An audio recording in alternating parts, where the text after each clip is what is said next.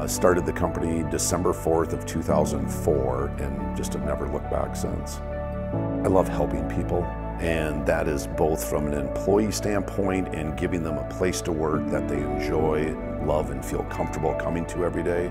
I love watching my employees grow into bigger positions.